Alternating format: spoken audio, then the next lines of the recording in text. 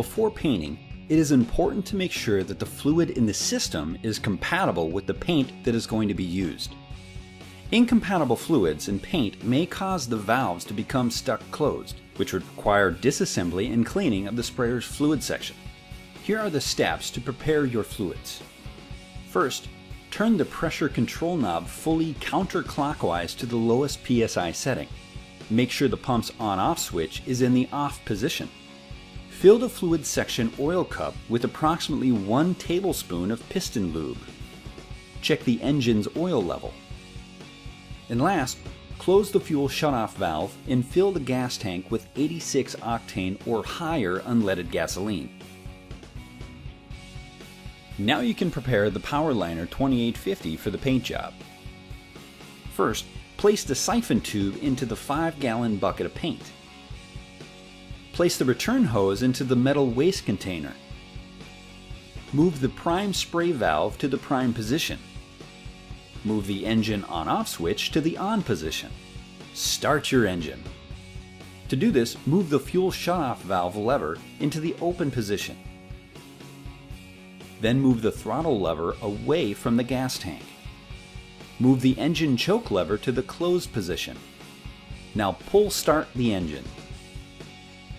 Next, slowly turn the pressure control knob clockwise to increase the pressure until fluid starts to come out of the return hose. Use only enough pressure to keep the fluid coming out. Allow 15 to 30 seconds to flush the test fluid through the return hose and into the waste container. Now turn the pressure control knob fully counterclockwise to its lowest setting and turn the pump switch to off.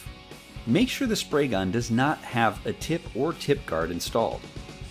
Next, move the prime spray valve to the spray position. Turn on the sprayer. Gradually turn the pressure control knob clockwise to the desired PSI setting as you trigger the spray gun into the metal waste container. Continue until all air and water or solvent is flushed from the spray hose and material is flowing freely from the gun. Now here is a bonus tip.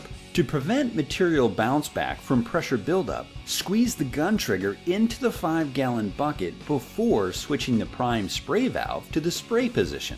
Doing this will allow the material to gradually flow out of the spray gun. Now attach the tip guard and the tip to the gun. Then test the spray pattern and line position on a long piece of roofing felt or cardboard. Adjust the pressure control knob until the spray from the gun is completely atomized. Try to keep the pressure control knob at the lowest setting that maintains good atomization. This will save on material costs. Now adjust the gun up or down on the gun riser to the desired position.